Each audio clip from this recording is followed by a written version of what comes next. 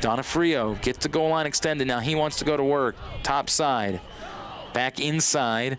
Wrap around shot. Oh, and he scores.